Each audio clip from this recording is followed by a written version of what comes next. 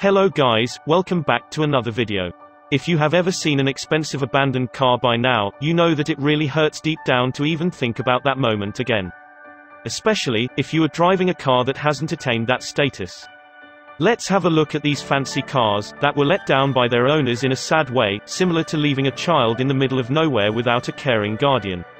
Number 5, 1969 Dodge Charger Daytona, price $200,000.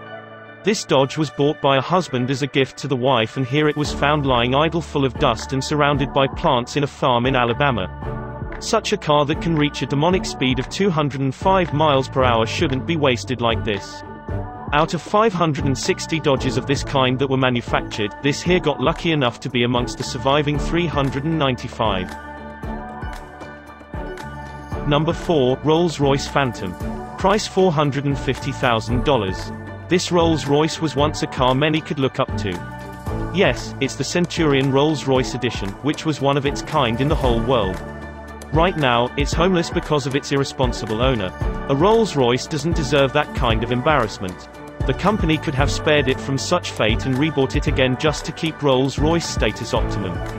Maybe even the company could have been shocked to know the whereabouts of such a car. Number 3, Jaguar XJ220, price $500,000. The car wasn't even old when it got abandoned. It still has that fresh power from the automotive company. It really hurts to see such a car discarded like a lollipops wrapper. This Jaguar was left like that in the desert of Qatar to be soaked in the sand. It's the only Jaguar XJ220 in Qatar. Number 2, 1967 Shelby Cobra 427. Price $2 million. The main reason behind that was that the mechanic who has been assigned to fix the car passed away. So the owner let this car stay broken and abandoned for more than 20 years. Surely, there are so many mechanics in this world, and maybe he could have found one who could have fixed this car properly. Well, this car was lucky to be found in this condition because it could have been worse than this. Number 1 Ferrari Enzo. Priced $3 million. This is a model of Ferrari that we usually see in the music videos. It was in a police impound for some period of time before fruitless announcements were made to look for the owner.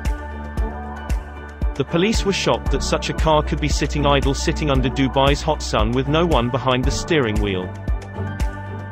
Surprisingly only 400 Ferrari Enzos were produced and this car was very rare to find. It gets better, the last model of this car to be manufactured was sold at a whopping price of $6.5 million. Hope you guys like this video, don't forget to subscribe to our channel.